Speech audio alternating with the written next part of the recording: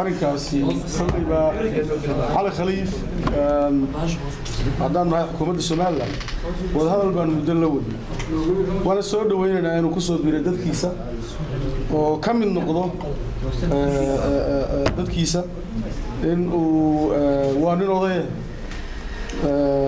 wanaag iyo horumarka dalka ka qayb qaato aad baan u soo dhawaynaynaa anigu xukuumadda madaxweynaha jamhuuriyadda somalilan mudane axmed maxamed maxamed silaayaan ka mid ah waxbaan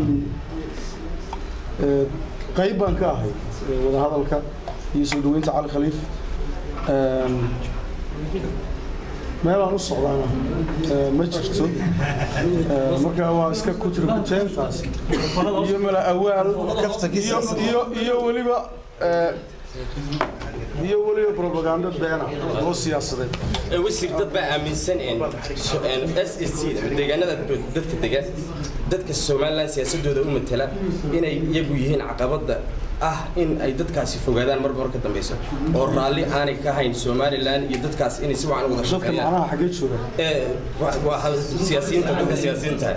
Marka ma jirtaa in idinku aad raalli ka tihiin somalilan iyo khaatumo inay midoobaan nabadgelyo naga shaqeeyo somalilan si midaysan wada shaqeyso. Annagu waad ogtay dadaalkaan wadno inaanu raalli ka nahay in shacabkaasi ka mid noqdo somalilan waxay ila tahay dee waad ka wada dhegsantihin dadaalkaanu ku jirno waana ka shaqaynaynaa haddii alla ka dhigo. Waad ogeedeen diiwaangelinta hadda ka dhacday dalka. Markii ugu horreysay in number aada u badan isdiiwaangeliyey waxaan rajaynaynaa diiwaangelinta dambe haddii alla ka dhigo. Inaanu boqolkiiba sagaashan dadka diiwaangelin doono.